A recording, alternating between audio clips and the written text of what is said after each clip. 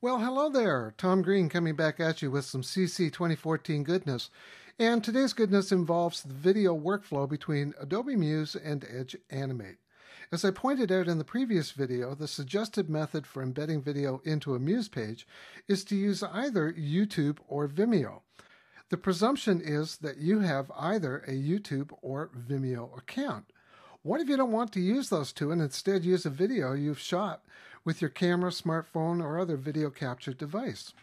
The solution is to look at Edge Animate and Adobe Muse as being nothing more than tools.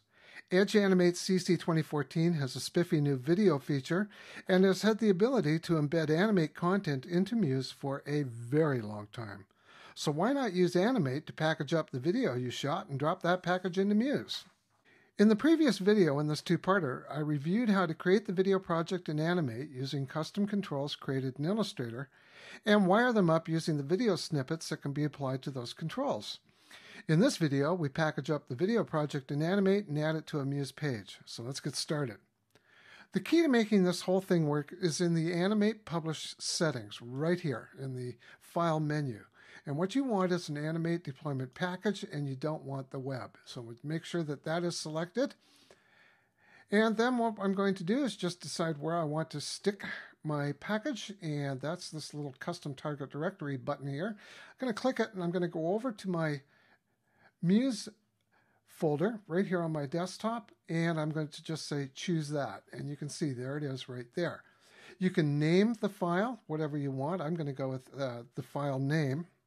The request for a poster image right here might seem a bit odd, but it does have its uses. For example, if your video starts off with a black or white screen or bars, you might want to replace them with a screen grab from the video just to show there really is content there. The final choice right here is to host the runtime files on Adobe CDN, a content delivery network. In this case, I'm not interested in this option, so I'm just leaving it unselected. With everything ready to go, you are ready to publish the file. The Save button right here below the options, this is not your choice. All it does is save the choices you have made to the Animate composition. Instead, come over here to the left and click the Publish button. When the process is finished, you can close the Publish settings, save the project, and quit Animate. If I pop over to the Muse folder, you can see the OAM file right here. Now, think of the OAM file as being nothing more than a zip file containing all the files necessary to play the composition in a web page. In fact, if you change the OAM extension to .zip, you'll see everything is in there. But just leave it alone and don't move it around. Okay, so let's get this into Muse. So I'm going to pop over to my Muse page. And as you can see, I am currently in the plan view of Muse. To open the page, all I need to do is double click it, and there it is.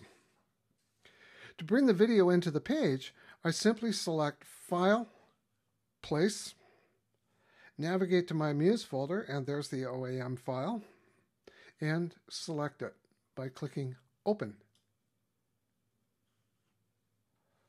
The cursor changes to a loaded text cursor, and I just move it where I want the video to be placed and click once.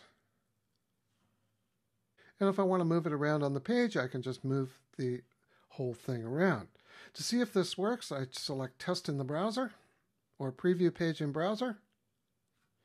This will open Chrome.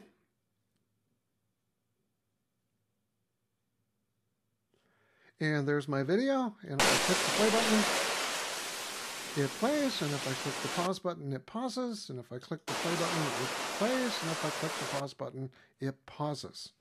From there, you can either publish the Muse file as HTML or shoot it over to Business Catalyst, which is Adobe's hosting server. So there you go. You're no longer tied to YouTube or Vimeo embeds, and instead, if you have a Creative mm. Cloud account, you can use Edge Animate to create the video composition and package it up as an OAM file, which can be subsequently dropped into a Muse page. So break out your smartphone, GoPros, and other video cameras and create your own custom content for Muse.